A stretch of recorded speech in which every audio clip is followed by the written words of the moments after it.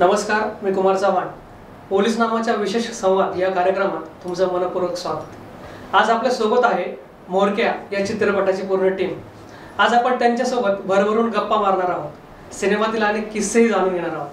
आपल्यासोबत आहेत लेखक दिग्दर्शक सहअभिनेते सहनिर्माते अमर देवकर रमण देवकर ऐश्वर्या कांबळे आणि यशराज कराडे. सर तुमचं सर्वांचं स्वागत आहे पोलीस नावाच्या मंचावरती. तुमचा हा पहिला सिनेमा होता आणि त्याच्यातही तुम्हाला राष्ट्रीय पुरस्कार वगैरे मिळाला. तर कसा होता? एकूण अनुभव काय होता? एकतर गावाकडच्या एखाद्या अशाच मध्यमवर्गीय किंवा त्यापेक्षाही क- कनिष्ठ वर्ग मध्यमवर्गीय समाजातून वर्गातून मी आलेला एक शेतकऱ्याचा पोरगा. आपण हे पहिलं तर क्षेत्र निवडावं की नाही हाच प्रश्न असतो. धोपट मार्ग सोडून बाजूला जाऊ नये. आपल्या कोणी ह्या क्षेत्रामध्ये नव्हतं पूर्वी. हे संकोच होते हे संकोच तोडले. आईवडिलांनी मार्गदर्शन केलं प्रोत्साहन दिलं आणि चित्रपटीय भाषेतून अभ्यास करत असताना मास्टर्स केले पुणे विद्यापीठातून. आणि तिथून शिकून गावी जाऊन परत तिथल्या माझ्या सहकाऱ्यांना मित्रांना हौशी कलावंतांना तांत्रिक आणि कलात्मक सगळं ट्रेनिंग देऊन प्रशिक्षण देऊन पुणे विद्यापीठात माझ्यासोबत असलेल्या बॅचमेट्सला तिकडे बोलवून आणि सोलापूरचेच स्वस्तिक फिल्म प्रोडक्शनचे यशराज युवराज कराडे आणि व्यंकटेश पडाल यांना घेऊन हा चित्रपट बनवणं हे खरं तर मोठा स्ट्रगल होता. दिव्य होतं अडचणी होत्या ते बनवलं.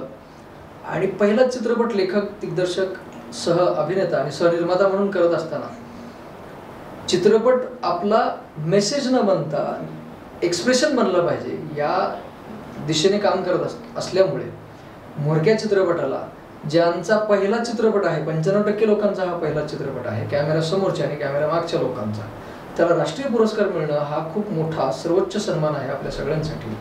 आणि एक नाही तर तीन तीन राष्ट्रीय पुरस्कार मिळणं हे आणखीनच मोठी भाग्याची आणि चार चांद नाही तर सात चांदची गोष्ट आहे. सोलापूरकरांची काय भावना होती? म्हणजे तिकडच्या लोकांचे काय प्रतिक्रिया वगैरे काय? प्रतिक्रिया हा आपला सिनेमा आहे आपल्या मातीतला सिनेमा आहे. अनेक रेकॉर्ड्स या सिनेमाने त्या पातळीवरती तयार केलेले आहेत. सोलापूर जिल्ह्यातलं पहिलं चित्रपट निर्मिती संस्थान असं आहे की ज्याला राष्ट्रीय पुरस्कार सुवर्णकमळ मिळालेला आहे आजपर्यंत. सोलापूरच्या भूमीमधल्या लोक अनेक चित्रपटकर्त्यांनी आणि कलाकारांनी नाव कमवलं आहे चित्रपट केलेले आहेत. परंतु एखादी पहिली चित्रपट निर्मिती संस्था आहे जिला नॅशनल अवॉर्ड मिळालेला आहे. त्यामुळं आणखी अप्रूप आहे. गावाकडच्या तिथल्याच कल्चरला घेऊन तिथल्याच लोकांना घेऊन बनवलेला तिथल्याच भूमिपुत्रांचा हा सिनेमा असल्यामुळं आणखीन अप्रूप आहे. तो त्यांचा सिनेमा आहे. खेड्यांचा देश असलेल्या आपल्या या ग्रामीण संस्कृतीतल्या सगळ्या गोष्टी पडद्यावर येत आहेत याचं कौतुक आहे. आपल्यासारखाच दिसणारा उठणारा बसणारा बोलणारा नायक नायिका आणि माणसं पात्र व्यक्तिचित्रण असू शकतात. हे पडद्यावर बघणं किती कौतुकाचं आहे. ग्रामीण संस्कृतीनं म्हणजेच आता आपण स्वतःला स्वीकारलेलं आहे हे त्यातून दिसतंय. त्यामुळं स्वतःला पडद्यावर हिरो बघणं स्वतःची गोष्ट बघणं हे किती आनंदाची गोष्ट आहे. आणि हा आनंद उत्सव सगळीकडे साजरा केला जातो.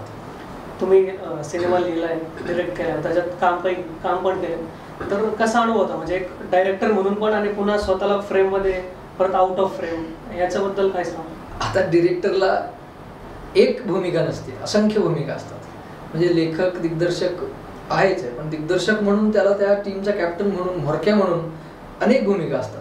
त्या अनेक भूमिकांमधली आणखी एक भूमिका जरी वाढली तर तसं काय असं डोंगर कोसळणार आहे किंवा काम वाढणार आहे त्याचं? एवढी सतराशे साठ तर कामं मेहनत आणि जिम्मेदाऱ्या तर आणि भूमिका कराव्याच लागतात. तर त्यात अभिनयाची एक भूमिका वाढल्यानं तितकंसं काही विशेष होत नाही फरक पडत नाही. परंतु त्या भूमिकेला न्याय देण्याची आपल्यामध्ये तेवढी क्षमता पात्रता आहे का हा विचार करणं माझ्यासाठी गरजेचं होतं. मग अमर देवकरने दिग्दर्शकाने त्या मला निवडलं एका भूमिकेसाठी. आणि ती भूमिका होती अंड्या नावाच्या स्क्रिझोफेनिक कॅरेक्टरची ज्याला लोक गाव वेड गद्दार समजत आहे आणि त्याची हेटाळणी करत आहे तो वेडा असाच अस्ताव्यस्त आणि त्याच्यासोबत एक कुत्र्याचं पिल्लू तो अजूनही युद्ध करत असलेला दुश्मन आताच आहे म्हणत असलेला वेडा फिरत असतो. ही भूमिका लिहिली गेली लेखकाने ती दिग्दर्शकाने मला करायला लावली आणि अभिनेता म्हणून ती कशी पेलायची? तर त्या वेड्याचं हार्डवेअर सॉफ्टवेअर जे काही लेखकाने लिहिलंय आणि डिरेक्टरला जे काही व्हिजन आहे त्या पात्राला घेऊन ते साकारत असताना मला विचार काय विचार करेल तो वेडा? वेडा म्हटला गेलेला. मग वेडा कोण? शहाणं कोण? हे त्यातून अधोरेखित झालं पाहिजे. हे समजून घेत असताना बरीच मेहनत करावी लागली. सात आठ वेडे किंवा मनो प्रवासी लोकांचा अभ्यास करावा लागला. मानसोपचार तज्ज्ञांकडे जाऊन काही गोष्टींचा शास्त्रीय अभ्यास करावा लागला लक्षणांचा विचार करावा लागला. आणि गोष्टीत त्याचं काय होतं हा अभ्यास करावा लागला. हा अभ्यास मी पूर्वीच केला. आता थेट प्रश्नाचं उत्तर येत आहे की हा अभ्यास मी पूर्वीच केला. चित्रपट करता म्हणून दिग्दर्शकानं तो कागदावरच आणला. काय करायचं हे ऑलरेडी कागदावर ठरलेलं असल्यामुळे रिहर्सल झाल्यामुळे इथं मी माझी एक भूमिका आहे कॅमेरा मागे की फ्रेममध्ये काय दिसलं पाहिजे कसं दिसलं पाहिजे. आणि ती तिकडे जाऊन मी पाच दहा सेकंदात ते कॅरेक्टर घेऊन मी माझ्या थॉट प्रोसेसने ते मी ऍक्ट करतो. तिथून ते सोडून परत इकडे येतो आणि ह्याचं काय कमी पडलं आहे काय ओके आहे की कमी आहे की जास्त आहे? हे डिरेक्टोरियल पॉईंट ऑफ व्ह्यूने बघता येणं. हे शिफ्टिंग फक्त प्रत्येकाला जमलं की आपल्याला भूमिका जमली. आणि मग अशा असंख्य भूमिका आपण आयुष्यातही करत असतो आणि इथंही केली. आणि ती बरी झाली. लोकांना खूप अप्रूप आहे कौतुक आहे त्या भूमिकेचं. आणि आवडते आणि इंटरेस्टिंग कॅरेक्टर आहे ते मला रमनला प्रश्न विचारायचा की तुला ऑडिशनला आईने पाठवलं असं कळतंय की तर काय होता अनुभव म्हणजे? कसं वाटतंय काय आता? त्यावेळेस तर वेगळा अनुभव होता आणि सर्व काही नवीन असल्यामुळे आणि आतनं असं वेगळं वाटायचं की काळ्या रंगाचं आहे मी. आणि चित्रपटामध्ये तर गोरे हिरो गोरे हिरोईन दाखवले काय काय हिरोला कोण ऍक्सेप्ट करणार आहे? अशी आत नाही भीती होती. आणि बार्शीकडे वातावरण पण तसं होतं की डायरेक्टर यायचे बाहेरून ऑडिशन घ्यायचे. आणि ॲक्टर्सकडनं फीस घ्यायची आणि पळून जायचे. असं वातावरण जर चार पाच डिरेक्टर आले बाहेरचे ऑडिशन घेतले असं केलं. आणि असं का काम करायची इच्छा नव्हती. काहीतरी वेगळंच वाटायचं यांचं काहीतरी वेगळंच चालू आहे. आपल्याला काहीतरी वेगळं बनायचं आहे नाव करायचं असं वाटत होतं. माहीत नव्हते फिल्म कशी बनवली जातात क- कसं प्रोसेस असते त्याची. कशी ॲक्टिंग केली जाते रिॲक्शन असतात त्याला किती मेहनत घेतली जाते कॅमेरा मागे कॅमेरा पुढे. तर त्यावेळेस जी बळजबरीने ऑडिशन दिलं ऑडिशनच्या गमतीशीर गोष्टी झाल्या तिथं काय जे मी करून दाखवलं मला कारण की फक्त ऑडिशन द्यायचं होतं. काय मला मा- व्हायचं नव्हतं सिलेक्ट आणि वाटत पण नव्हतं. आणि ज्यावेळेस मला वाटलं की मी सिलेक्ट होईल कारण की त्यावेळेस मी रमण देवकर आणि ऑडिशन घेणारे अमर देवकर. त्यावेळेस असं वाटलं मला देवकर देवकर आहे काहीतरी होईल. हा पण तसं काय नाही. तर देवकर तसं देवकर देवकर काय झालं नाही. मग सर म्हणले असं तुला रिॲक्ट चांगलं होतं तू भावनिक आहे. झालो सिलेक्ट मग तो काय प्रवास वेगळाच होता माझ्यासाठी नवीन असल्यामुळे. आणि माझं जे पात्र होतं मेंढपाळ मुलाचं तो मेंढपाळ मुलगा पण तसंच आहे. आणि मला मूळ मूळचं तर मी तेलुगू भाषिक आहे. आणि शिक्षण माझं इंग्रजी माध्यम माध्यमातून आहे. आणि मग वेगळं होतं माझ्यासाठी. ग्रामीण जगणं माहीत नव्हतं मला. मराठी बोली जास्त माहीत नव्हती ग्रामीण पद्धतीत गावरान पद्धतीत. तर तेच वेगळं असल्यामुळे शिकायला इच्छा निर्माण झाली. सेटवर वेगवेगळ्या गोष्टी असायचे वेगवेगळे डिपार्टमेंट असायचे वेगवेगळे फंक्शन्स असायचे. ते इंटरेस्ट वाढत गेला माझ्याकडे नवीन असल्यामुळे. ते सर्व काय प्रवास मजेशीर झाला. तुला जेव्हा पुरस्कार मिळाला बेस्ट ऍक्टरचा राष्ट्रीय पुरस्कार त्यावेळेस तुझी प्रतिक्रिया काय होती? म्हणजे फर्स्ट रिएक्शन काय होती? फर्स्ट रिॲक्शन म्हणजे असं होतं की असंच शाळेत होतो मी. एप्रिलचा महिना चालू होता. आणि एप्रिलचा महिना चालू असताना शेवटचा पेपर होता एन्जॉय होता. दुसऱ्या दिवशी सुट्ट्या लागणार आहेत मला. आणि त्यात असं कळलं की प्रिन्सिपल सर आले आणि सांगितलं तुला राष्ट्रीय पुरस्कार मिळाला. मला वाटलं एप्रिलचा महिना चालू एप्रिल फुल एप्रिलचा एप्रिल फुल करते असं वाटलं पण ज्यावेळेस कळलं अमर सरांनी फोन करून सांगितलं तुला राष्ट्रीय पुरस्कार मिळाला. तर मग मला पूर्ण ती दीड वर्षाची मेहनत घेतली. मेंढ्या राखल्या मराठी भाषा शिकलो. ते पूर्ण दीड वर्षाचा स्ट्रगल जी कॅमेरा मागे कॅमेरा पुढे लोकांनी केला. फक्त काही मिनिटाचा सीनसाठी शॉर्टसाठी पूर्ण अख्खा दिवस घालवला. इतकी मेहनत लागायची त्रास व्हायचा तो पूर्ण आठवला मला. आणि आतनं एक वेगळं वाटायला लागलं की पहिल्यांदाच काम करायला मिळालं. संधी दिली एवढा सुंदर चित्रपट आहे एवढा चांगला मेसेज देणार आहे. आणि मयात पण ब- भरपूर बदल झाले. राष्ट्रीय पुरस्कार मिळाला बार्शीतून दुसऱ्यांदा मला. पहिला शाहीर शहीद शाहीर अमर शेखांना मिळालेला तोच मला मिळाला. बार्शीतून सोलापुरातून पहिल्यांदाच. मग वेगळाच अनुभव होता फील वेगळा आला मला. उत्सुक झालो मी. आता थांबायचं नाही म्हणलं. स्पेशल ट्रीटमेंट चालू झाली स्पेशल ट्रीटमेंट राष्ट्रीय पुरस्कार विजेता रमण देवकर. मास्टर रमण देवकर वेगळी नावं नाव घ्यायला लागली. मोरक्या रमण देवकर म्हणा लागली. पहिल्यांदाच मुलाला मिळाल्या बा मग मोर गेलाय. देवकरला मोर नेलं. मग मोरक्या रमण देवकर म्हणा लागली. भाषा शिकताना काय काय अडचणी आल्या? भाषा शिकताना अडचणी जास्त करून आल्या नाही. कारण की थोडीफार यायची थोडीफार एकदम. गावरान पद्धतीत असल्यामुळे जरा अवघड गेलं टोन वेगळा होता. इंग्लिश मिडियम जरा शब्द वेगळे असायचे उच्चार वेगळे असायचे टोन वेगळा असायचा. भाषा शिकताना मुलांमध्ये जायचं मेंढपाळ मुलांमध्ये मेंढ्या राखताना माळावर जायचं. तेच शिकलो मराठी बोलणं. आता हळूहळू बदलायला गेले. दीड वर्ष लागला आणि स्क्रिप्ट वाचन झालं. भरपूर काय कॉन्टॅक्ट वाढले मराठीत बोलताना. मग जास्त काय अवघड गेलं नाही मराठी मला ऐश्वर्याला प्रश्न विचारायचा की तुझा सिलेक्शनचा अनुभव कसा होता? ऑडिशन कसं झालं? तुला ऑडिशनला काय विचारलं सरांना? खरं तर मी जेवण करत होते त्यावेळेस मला मुख्याध्यापकांनी बोलवलेलं की ऐश्वर्या असं असं चित्रपटाचं ऑडिशन आहे. तर मधल्या तू सुट्टीत? मधल्या सुट्टीमध्ये. मग मी एकदम शॉक झाले मॅडम म्हणलं मला काय ऍक्टिंगचा गंध पण नाही तरी पण मी नाही देऊ शकत म्हणलं. मॅडम म्हणले तुला नृत्य येते कारण मी शाळेमध्ये नृत्यासाठी फेमस असायचे. मग मॅडम म्हणले तू नृत्य करून दाखव. मी म्हणले ठीक आहे. मग ज्यावेळेस मी ऑडिशनला गेले त्यावेळेस मी फक्त डान्सच करून दाखवलं. त्याच्यावर माझं सिलेक्शन झालं. नंतर दुसऱ्या राऊंडमध्ये मग मला एक सिच्युएशन दिलेली हापशावर भांडणं करायची पाण्यासाठी. केली का केली. फुल राडा केला तिथं शिव्या वगैरे. मज्जा आली त्यावेळेस. नंतर मग ज्यावेळेस सिलेक्शन झालं त्यावेळेस नंतर मग आमचं तीन महिने वर्कशॉप घेतलं गेलं. ॲक्टिंगचं काही सुद्धा माहीत नसताना मग त्या वर्कशॉपमध्ये आम्हाला शिकवलं गेलं की म्हणजे कसं करायचं असतं ॲक्टिंग पुन्हा वेगवेगळे सिच्युएशन देतात त्यावर आपण रिॲक्ट कसं झालं पाहिजे? हे सगळं शिकवल्यानंतर मग आमची शूटिंग वगैरे झाली. खूप छान एक्सपिरियन्स आले आणि पहिल्याच प्रोजेक्टमध्ये एक नाहीतर तीन राष्ट्रीय पुरस्कार भेटतात. सो खूप आनंद पण आहे. जेव्हा चित्रपट तयार झाला त्याच्यानंतर ना मग कसं होतं? म्हणजे शाळेचं वातावरण घरचं वातावरण जेव्हा तुला म्हणजे लोक पाहत होते तर त्यांचे रिएक्शन काय होतं? जेव्हा चित्रपट तयार झाला? कारण त्यावेळेस स्वतः मोडक्याची हिरोईन झाली होतीस ना? मग लोकांच्या प्रतिक्रियेत तुला ट्रीटमेंट देण्यात जरा बदल झालाच असेल. खरं तर आधी मी डा डान्सिंगमुळं मी फेमस असायचे. सगळे म्हणायचे की मला तू डान्सर आहे डान्सर आहे डान्सर आहे. नंतर ज्यावेळेस त्यांना कळालं की मी चित्रपटामध्ये अभिनेत्रीचं काम केलं त्यावेळेस सगळ्यांचा म्हणजे दृष्टिकोन पण पा बदलला. म्हणले तू डान्स डान्सिंग सोबत आता ॲक्टिंग पण करायला लागलीस. मग छान असे मला सपोर्ट पण करायला लागले सगळे. मला यशला विचारायचं आहे की तुझा काय अनुभव होता? माझा अनुभव म्हणजे माझा पहिला प्रॉब्लेम भाषेचा. मी मूळचा नगरचा आहे. अच्छा शुरून माहिती गव्हर्नमेंट नगरचं तिकडलं आहे मी. आणि मोडके ही फिल्म म्हणजे अमर सरांनी म्हणजे जेव्हा सांगितलं का तू करतोय करतोय एक महिने मी ऑडिशनचं कसं कळलं? पिक्चरचं ऑडिशन चालू हा तो किस्सा तर वेगळा ऑडिशनचं तर खरं तर माझं ऑडिशन झालं नव्हतं. अच्छा. कारण का सर जेव्हा म्हणजे इकडं काही कामानिमित्त पुण्यात माझ्या चुलत्यांसोबत राहत होते भाऊरावांसोबत राहत होते तेव्हा सर त्यांचं काम चालायची. आणि मी लय लहान होतो. म्हणजे मोरकेचं मला वाटतं कदाचित तेव्हा काही नसेल किंवा अनाउन्समेंट पण नसेल तेव्हा सरांच्या फक्त डोक्यात असेल. तेव्हा मी लहान होतो बराच. आणि यांचे कामं चालायचे. मी फक्त मेसवरनं यांना किंवा घरनं डाबा आणून द्यायला असायचो. आणि मला यांचं संघ घेणं देणं नव्हतं. काहीच घेणं देणं नव्हतं. ही यांची ही काही करतात आणि मी बारीक होतो. तसापासून मला सरळ लागतात आणि माझं कॅरेक्टर त्यांनी तेव्हापासूनच बघून डॉक्टर ठेवलं. मला डायरेक्ट सांगितलं. म्हणजे ऑडिशन तर काही झालं नाही. असं नाही की सरांनी मला मी ह्याच्या आधी खोलामध्ये काम केलं म्हणून घेतले तसं तर बिलकुल नाही. म्हणजे जर समज जरी असेल कोणाचं तरी डोक्यातून काढून टाकेल. कारण काय मी लहानपणापासून सर मला बघते तर त्यांच्या डोक्यात म्हणजे होतोच मी लहानपणापासून त्या कॅरेक्टरसाठी आणि. सांगायचं झालं तर भाषेचं बार्शीची भाषा ना आता सुद्धा मी बोलतोय आणि रमण त्यांनी बोलतात आयुष्यातली ही एक भाषा वेगळी आणि मी ही बोलतोय ही ना घरची.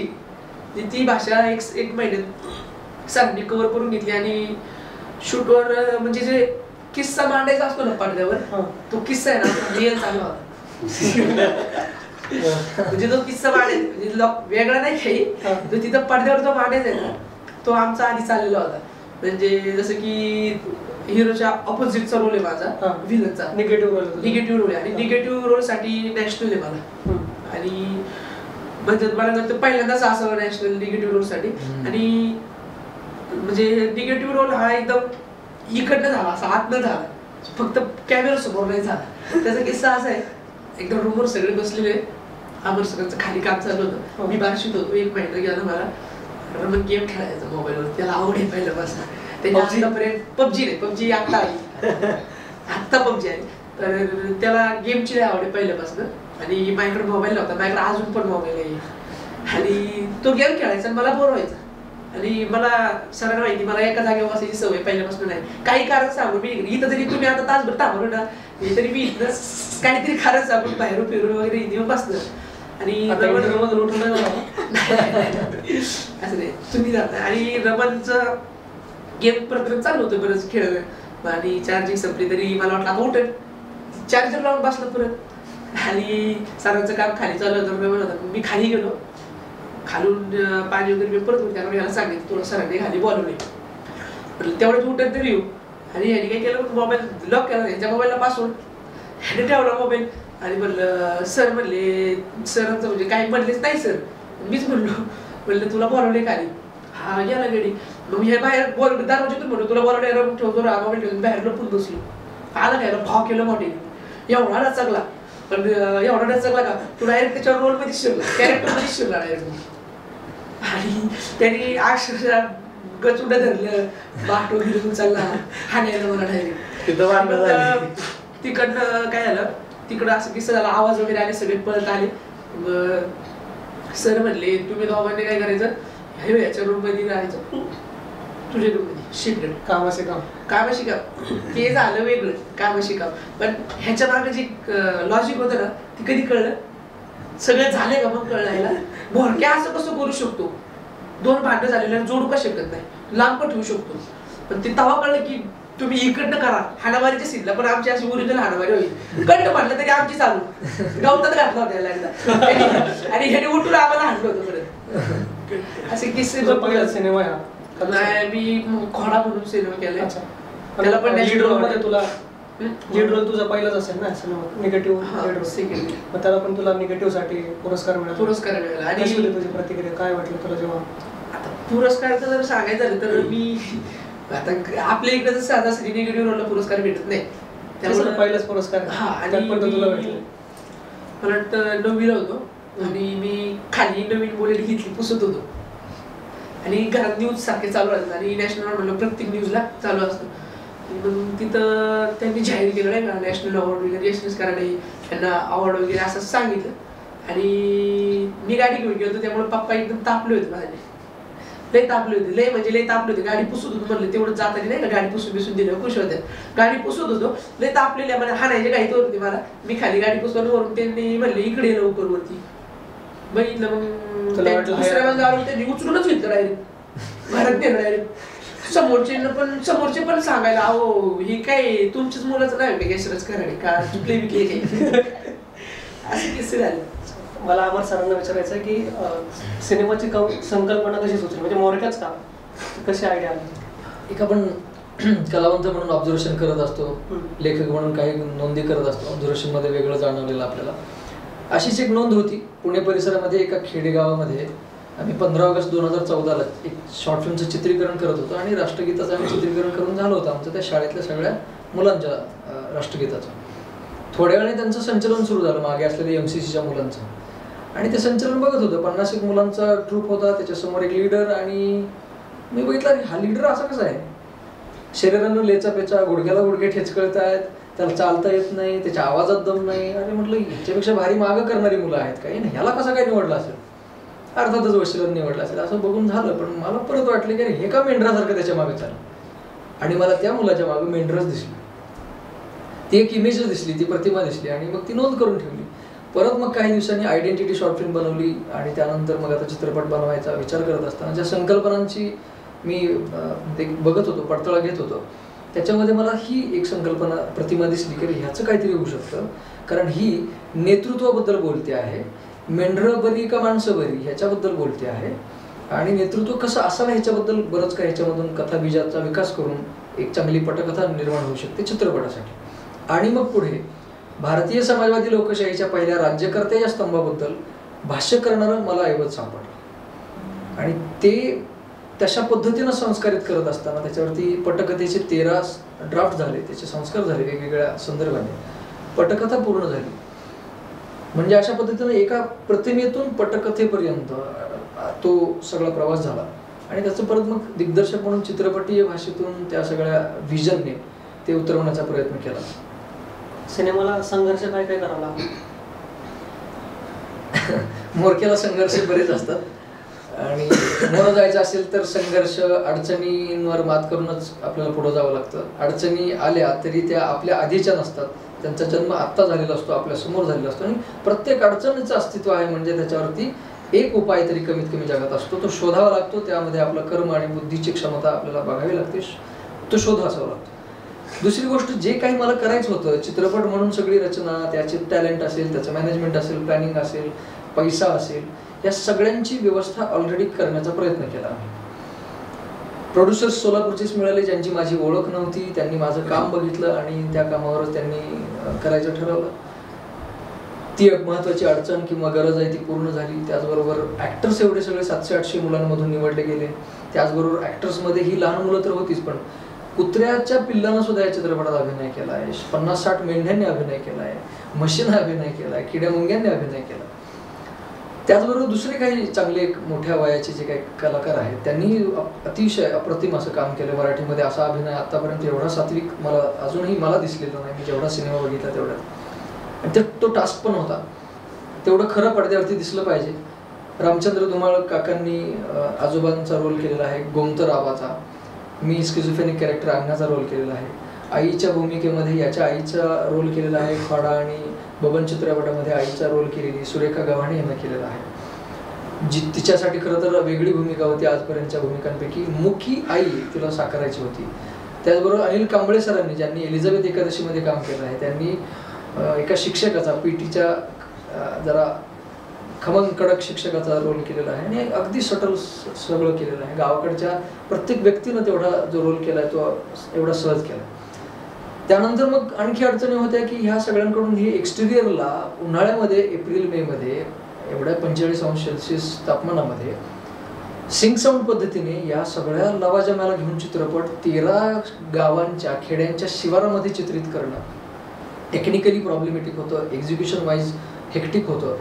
टेक्निकली पा टेम्परेचरमुळं इक्विपमेंट्स साऊंडचे आणि कॅमेऱ्याचे काम करत नव्हते. त्यांच्यासाठी आम्हाला थांबावं लागायचं. अवकाळी पावसाचा वा बराच नुकसान होतं वारं वादळ होतं. हे नैसर्गिक आपत्ती होत्या काही अचानक बदल होत होते काही अडचणी येत होत्या छोट्या मोठ्या. त्याला सांभाळत सांभाळत सांभाळत सांभाळत चित्रीकरण पूर्ण करायचं होतं. सलग पंचेचाळीस दिवस शूट करून चित्रीकरण पूर्ण झालं. त्यातला एक सीन राहिला. तो एक सीन होता तो मेंढीच्या बाळणपणाचा होता तो ओरिजिनल सीन होता तो काही आपल्या सोयीनं वेळेनं होणार नव्हता. तो झाला नाही त्याची तयारी केली होती परंतु तसं काय ते आधीच बाळण बाळ झालं त्या मेंढीला. कटरीना नावाची मेंढी आहे तिला बाळ आधीच झालं.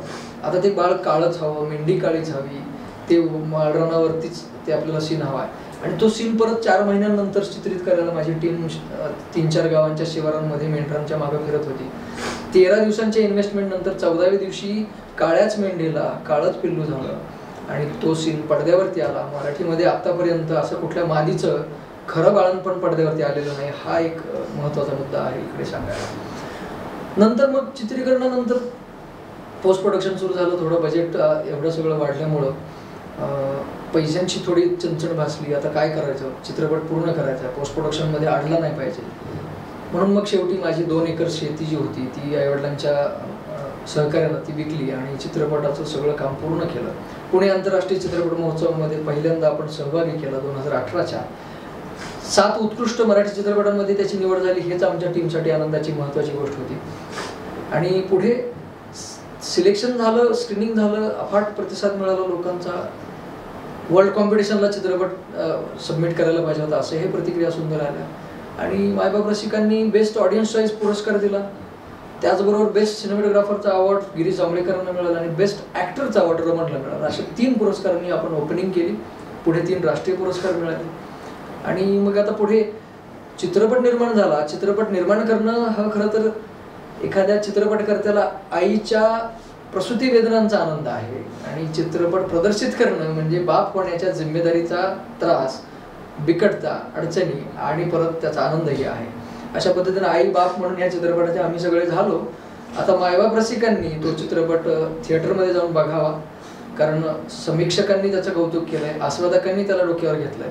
आणि नक्कीच अशा पद्धतीचे संस्कार आपण चित्रपटावर केलेले आहेत की मायबाप रसिक प्रेक्षकांना तो तेवढाच आनंद देईल त्यांचे पैसे वसूल करेल नक्कीच. बरेच कलाकार असे असतात गावाकडनं येतात शहरात जातात मोठे होतात. पुढे मग ते इकडचे इकडे जातात आणि इकडचेच होतात. तर तुम्हाला असं काही आपल्या गावासाठी मातीसाठी काय करायचं? आगामी काही प्रोजेक्ट तुमचे? किंवा असं काही डोक्यात आहे की बाबा मला माझ्या लोकांसाठी असं काय करायचं आहे? असं काय? एकतर मी या माझ्या कलेचा संसर्ग गेल्या बारा तेरा वर्षापासून आसपासच्या लोकांना करतोय. आणि त्या संसर्गानं लोक सगळे आता पूर्ण वेळ या क्षेत्रात उतरून अंगाला राग फासून बेभानपणे काम करतायत. मेहनत करतायत. माझ्या गावाकडचे जवळपास तीस पस्तीस तरुण ऑलरेडी गेल्या चार पाच वर्षापासून या क्षेत्रात पूर्ण वेळ काम करायला लागलेले आहेत. त्यानंतर आता म्होरक्या चित्रपटानंतर जवळपास शंभर लोक या क्षेत्रात येऊ शकतात वेगवेगळ्या विभागांमध्ये अभिनयापासून. हा स- आपल्यामध्ये कॉन्फिडन्स येणं आणि आपल्या प्रतिभेला त्याच्या नव्वद पटीनं नव्याण्णव पटीनं शंभर पटीनं मेहनतीचं जोड देऊन आपण सिद्ध करू शकतो. सिद्ध होणारे महान माणसं कलावंत हे सुद्धा आपल्यासारखेच हाडामासाचे असतात. तेवढीच ऊर्जा टॅलेंट गावाकडच्याही लोकांमध्ये मातीमध्ये आहे. हे हा कॉन्फिडन्स फक्त लागतो आणि त्यासाठी अभ्यास लागतो. अभ्यासूनही प्रकटावे हे महत्त्वाचं आहे. ते करण्याची मी काही वर्कशॉप शिबिर संस्कार गावाकडच्या लोकांना अनौपचारिकपणे करत गेलो. माझ्या असिस्टंट म्हणून गेले पाच सहा वर्ष काम करत असलेल्या विनोद कांबळेनं कस्तुरी नावाचा चित्रपट बार्शीतच केला. माझ्या टीम मेंबरला त्या आपल्या सगळ्या सहकाऱ्यांना घेऊन केला. पुण्याचे प्रोड्युसर्स आहे आता हे वारं त्या बाजूला तेवढ्या शिस्तीनं मेहनतीनं वाहत आहे आणि ते नक्कीच इकडं जरी येऊन शिकलो तरी मी माझ्या गावाकडच्या माझ्या गोष्टी मांडण्यासाठी मी वेगवेगळ्या ठिकाणी काम करेन वेगवेगळे प्रय प्रयोग आहेत वेगवेगळ्या जॉनरचे सिनेमे करायचे आहेत. जिथे जी गरज असेल तिथं त्या टॅलेंटनुसार आपण मग काम करणार आहोत. मायबाप रसिक हो मोरक्या या शब्दातूनच तुम्हाला कळलं असेल की अस्सल गावरान ग्रामीण भाषेतला संस्कृतीतला हा सिनेमा तुमचा आमचा खेड्यांचा देश असलेल्या या सगळ्या ग्रामीण जगण्यातला आहे. ज्यांची क्षमता पात्रता असून सुद्धा वगळलं डावललं गेलेलं आहे त्यांचा प्रत्येकांचा हा सिनेमा आहे.